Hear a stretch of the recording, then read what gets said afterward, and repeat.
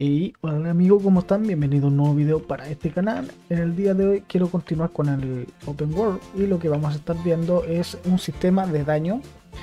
Bien, eh, me han estado pidiendo, yo sé, eh, hace un tiempo atrás que hiciese un sistema de misiones, que hiciésemos ríos, eh, lagos, mar, no sé, todas esas cosas. Y se las voy a traer al canal también un, suscriptor me ha pedido que hiciésemos pues un sistema de eh, como una malla que encierre nuestro mundo en donde se vean montañas a lo lejos eh, que no se pueda traspasar más allá de lo que se ve porque evidentemente si nosotros llegamos en este momento al borde de nuestro mapa pues caeríamos hacia abajo. No es la idea.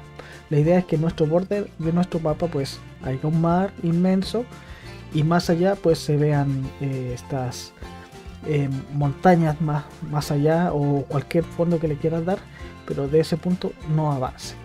Bien eso lo vamos a ver más adelante no se preocupen lo vamos a traer. Ahora sí es muy muy necesario que lo quieran ver pronto pues déjenmelo saber en los comentarios tal vez ustedes tengan su juego más avanzado y solamente necesiten eso pues déjenmelo en los comentarios, así yo lo sabré y lo traería en vídeo. Bien, si no es tan, eh, si no es tan rápido o tan necesario, pues vamos a continuar con lo que tengo preparado. Bien, como les decía, vamos a ver un sistema de daño para nuestro personaje, porque en el en próximos eh, videos de este vamos a estar haciendo la inteligencia artificial para hacer eh, esa misión yo quiero hacer a través de estos personajes eh, recibir daño para poder heredar, hacer un padre y un hijo de nuestro mismo personaje. Es decir, vamos a tomar a nuestro personaje y vamos a ponerle ciudadanos y de ahí vamos a sacar todos los ciudadanos que estarán pues caminando alrededor de nuestro de nuestro videojuego y eh, también desde nuestro personaje vamos a sacar los enemigos, podemos poner bandas, policías, X cosa, lo que se nos ocurra, pero cuando nosotros los disparemos a ellos, pues ellos tienen que tener un daño. Entonces para poder hacer eso y no hacerlo con cada uno de ellos, tenemos que trabajar primero nuestro personaje para poder heredar todas esas cosas a través de nuestro personaje a, las demás eh, inteligencia artificial. Bien. Bien, entonces lo que quiero hacer es un sistema de daño.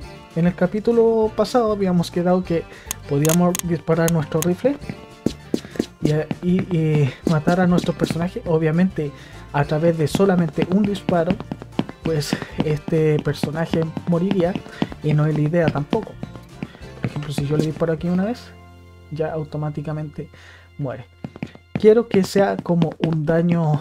Eh, que se, genere un daño eh, cuando yo dispare a esa, gente antes de matarlo. No quiero que muera de inmediato. Entonces vamos a hacer eso.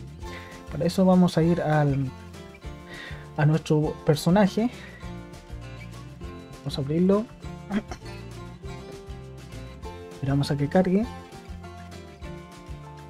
Perfecto. Bien, y aquí tenemos varias cosas. Por ejemplo, tenemos una variable de salud máxima eh, que necesitamos modificar. Estuve pensando cómo hacerlo. Bien, entonces vamos a hacer este sistema de vida. Como les decía, tenemos una eh, variable llamada salud máxima. Yo creo que esta la vamos a cambiar a entero. Así que vamos a hacer de tipo entero. Simplemente venimos aquí entero. La dejamos tal cual. Compilamos. Una vez compilada necesitamos ir a nuestro HUD en este caso lo tenemos aquí en la base de automation eh, blueprints UI y lo tenemos aquí ALS recuerden que habíamos hecho esto. Aquí teníamos pues el la, la barra salud. Ya lo tenemos enlazada la vamos a buscar. Aquí está bien.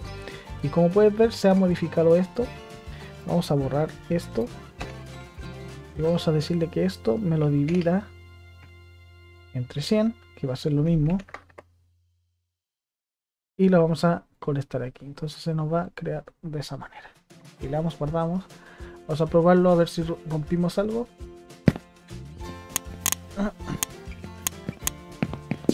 No rompimos nada. Ahí está la barra. Bien. entonces volvemos a nuestro personaje y lo que vamos a hacer aquí nosotros tenemos no, no tengo. Voy a crear una variable llamada eh, daño. Solamente le daré daño. Vamos a compilar. Y vamos a ponerle perdón vamos a ponerle eh, ¿cuánto este daño puede ser un 20 compilamos. Y vamos a decirle que en el momento de que mm, llegue ese disparo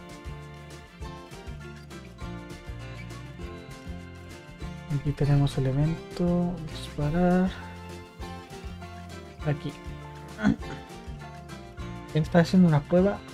Lo que necesitamos es duplicar nuestro personaje. Voy a duplicarlo y si se fijan aquí dice BP1 lo que voy a hacer con este BP1 le voy a poner por ejemplo character. Prueba. Hacer nuestro character de prueba voy a colocar uno por aquí otro por acá otro por acá bien entonces nuestro personaje habíamos hecho una variable eh, de daño la vamos a eliminar creo que no la vamos a necesitar. Y en esta parte de aquí voy a borrar el código para hacerlo con ustedes. Aquí todo esto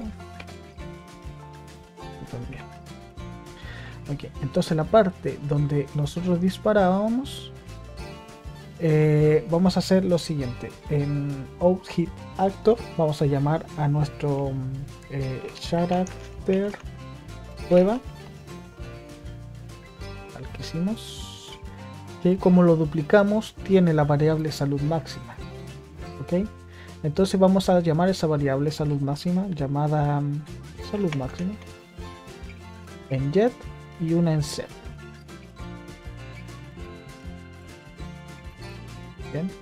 Recordemos que la variable la cambiamos a entero, ya no es flotante.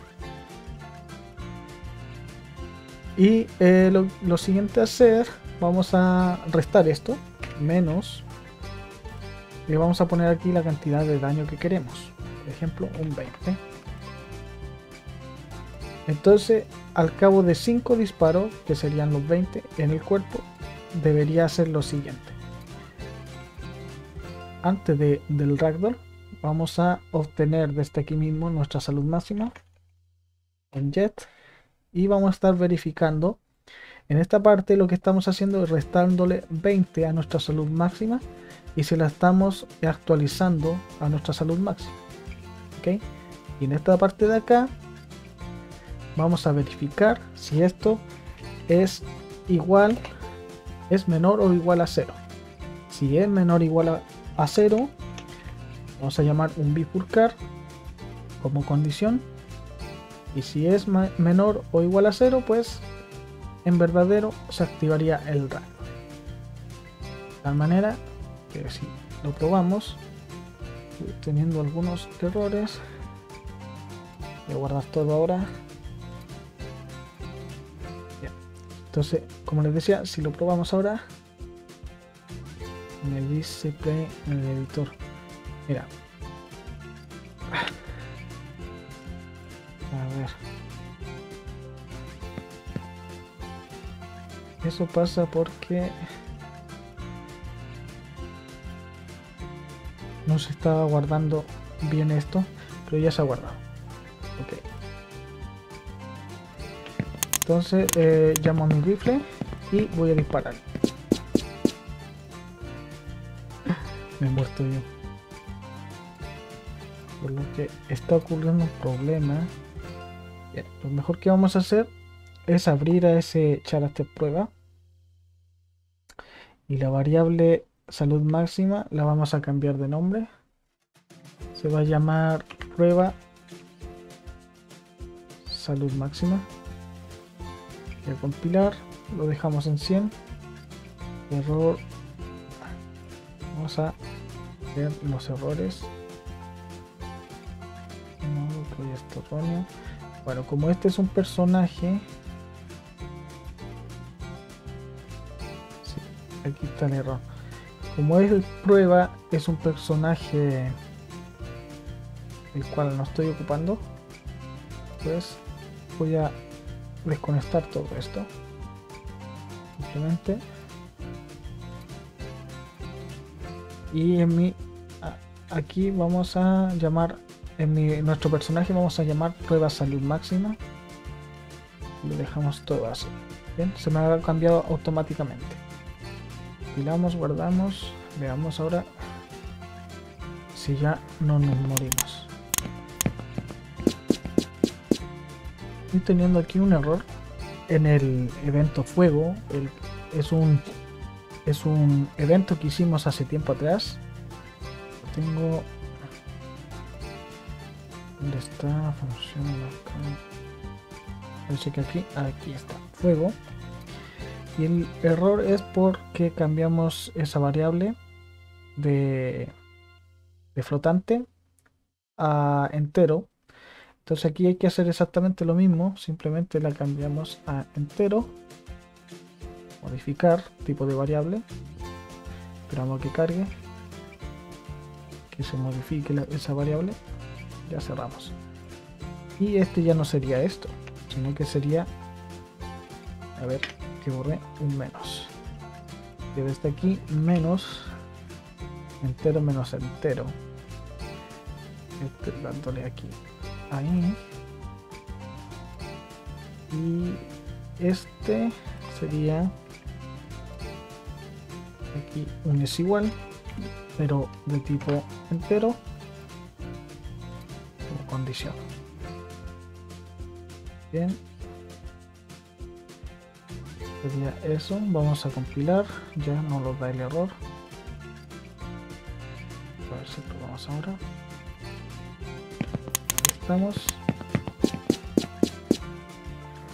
Y morimos nosotros.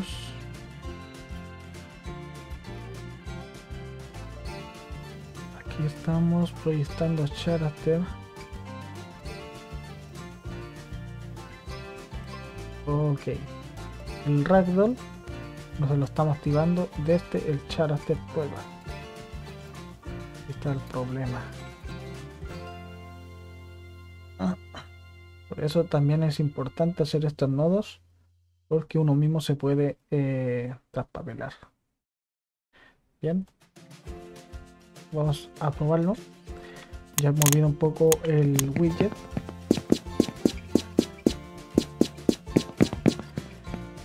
a darle a este y ahí moriría entonces lo que estaba sucediendo era pues aquí eh, estábamos llamando este ragdoll. Como no lo teníamos conectado a nada entonces hacía tomar una autorreferencia a sí mismo. Y el daño que estábamos haciendo obviamente sí se lo estábamos haciendo. Y como era cero automáticamente nosotros nos estaba haciendo el ragdoll. No estábamos matando personaje porque tenemos que sacarlo de aquí. Recordemos que ese personaje es prueba. Bien, entonces si está funcionando el sistema de daño. Lo vamos a hacer así, bastante sencillo, bastante simple. No me quiero mm, hacer bastantes cosas como por ejemplo hacerle daño a la cabeza que le haga cierto daño. Lo que sí podríamos hacer es generar un, daño random que no sea eh, siempre 20 entonces podríamos aquí llamar un entero integer entero aleatorio pero no ese no. Es entero aleatorio en rango. Entonces en vez de decirle que 20 que me haga un daño de entre 5 a 20 más o menos ¿no? Entonces ya el, enemigo ya no moriría a los 5, podría morir antes, podría morir mucho más después. Entonces, así obtenemos pues que se puedan eh, que puedan seguir vivos. Ahora si nosotros le damos a F8 y yo presiono por ejemplo este personaje, voy a bajar aquí, perdón el detalle y aquí tengo la eh, variable salud ¿Cómo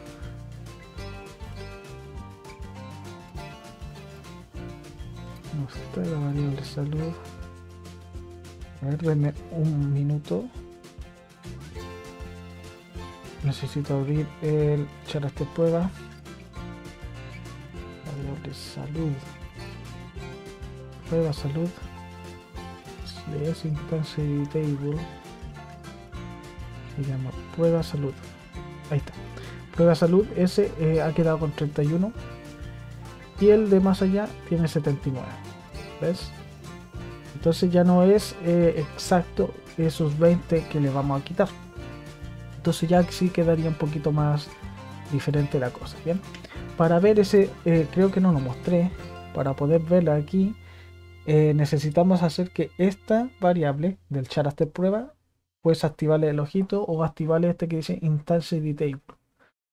Entonces de tal manera, voy a darle nuevamente a play, que si yo disparo, voy a dispararle todo un poco. Si yo disparo y presiono la tecla F8 y eh, hago clic en ello, por ejemplo en este, bajo hasta donde dice prueba salud, este tiene 21, podemos ver eso donde lo hemos hecho instancia detail. Este quedó con 56 y este quedó con 66. Lógicamente, si le seguimos disparando, pues moriría. Bien, esto ha sido todo el video tutorial. Si te está gustando, por favor, regálame un like. Me sigue un montón. Por favor, no se olviden de regalarme un like. De verdad, se los pido. Suscríbete al canal si eres nuevo y activa la campanita si no te pierdes ninguno de los videos que estaré subiendo. Y en el próximo capítulo, pues vamos a hacer ya la inteligencia artificial para nuestros ciudadanos primeramente y después iremos en orden haciendo para los enemigos, la policía y etcétera, etcétera. Bien, eh, cualquier duda o consulta que tengan, déjenmelo saber en los comentarios para poder ayudarlos. Eh, tengo un Facebook también para que puedan contactarse conmigo. Eh, estoy respondiendo casi, casi inmediatamente. así que si tienen alguna duda, pueden hablarme. Estará apareciendo aquí en pantalla donde deben ir para buscar mi Facebook. Y en la caja de descripción también se la dejaré eh, ese link directamente a mi Facebook para que puedan hacerme cualquier consulta que ustedes necesiten, ya sea de este proyecto o cualquier otro que ustedes quieran. Eh, bien, eso ha sido todo. Me despido de usted y nos vemos en el próximo video haciendo la inteligencia artificial. Hasta luego.